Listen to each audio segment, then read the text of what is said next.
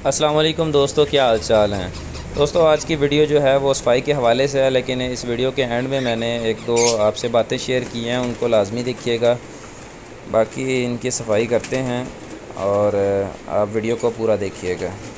तेरी खैर, माल ही माल माल ही माल।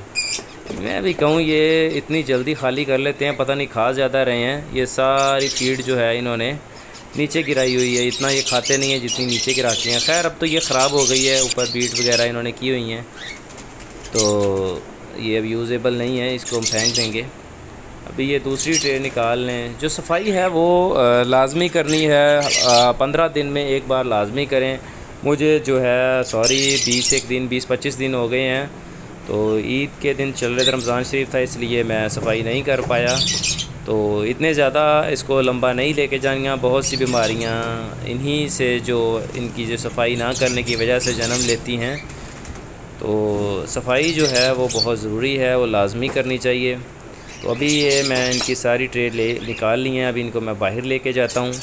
तो खुले में जाके इनकी तरह, अच्छी तरह से स्क्रैपर के साथ इनकी मैं सफ़ाई करता हूँ। ये जो इनकी जो बीट वगैरह हैं, वो मैंने एक साइड पे गिरा दी हैं। और जो फ़ीड है, वो उसको मैं अलहदा फेंक दूँगा। वो इसलिए कि जो फ़ीड है, इसमें काफ़ी ज़्यादा जो है, वो बाजरा और दूसरी चीज़ें जो हैं पुरदम हो गया, जो भी इनके चीना वगैरह, कंगनी वगैरह, जो भी इनको सूरजमुखी वगैरह डालते हैं तो वो काफ़ी तादाद में वो वैसे ही इन्होंने नीचे गिराई हुई हैं। तो अब बाकी जो चिड़ियाँ वगैरह हैं, उनकी मौजें लग जाएँगी उनको मैं बिखेर देता हूँ, ताकि वो आसानी से ढूंढ लें। चलें, उन्होंने अपना नसीब खाना है, किसी तरीके उनको भी मिल जाएगा। तो अच्छी तरह से आप भी जो इसको है वेस्ट ना करें, जो है, ये बकरियाँ बड़े शौक़ से खाती हैं। अभी ये इधर मैंने इसको बखेर दिया है। तो बाकी सफ़ाई की सफ़ाई होगी, इनका भी सिस्टम चलता रहेगा, आपका भी सिस्टम चलता रहेगा। तो स्क्रैपर की मदद से अच्छी तरह से आप खरीद लें। अगर जहाँ पे गीला है, वहाँ थोड़ी सी मट्टी डाल लें। इसके इससे जो है सफ़ाई बड़े अच्छे से हो जाएगी। आप ट्रेज में हल्की हल्की रेत भी डाल सकते हैं उससे जो है ये इस तरह चिपकेगी नहीं साथ इनके फजले वगैरह हैं। लेकिन आ, कोई नहीं अगर आप जल्दी सफ़ाई करते हैं तो ऐसा इशू नहीं आएगा।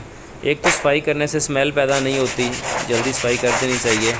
और दूसरा जो है आपके बर्ड्स जो हैं वो एक्टिव और सेहतमंद रहते हैं। उनकी टेल वगैरह गंदी नहीं होती इस तरह पिंजरे से बाहर उनकी जब टेल नीचे लगती है तो वो गंदी हो जाती है।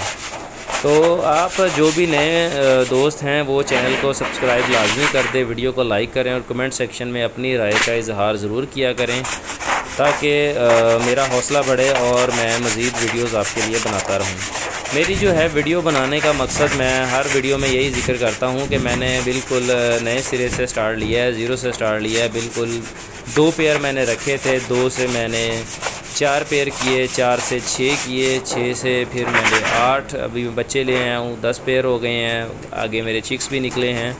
तो इस तरह पाँच माह में तकरीबन काफ़ी तरक्की हो गई है। दस हज़ार से स्टार्ट किया था, इस वक्त नबे हज़ार प्लस हो गया है।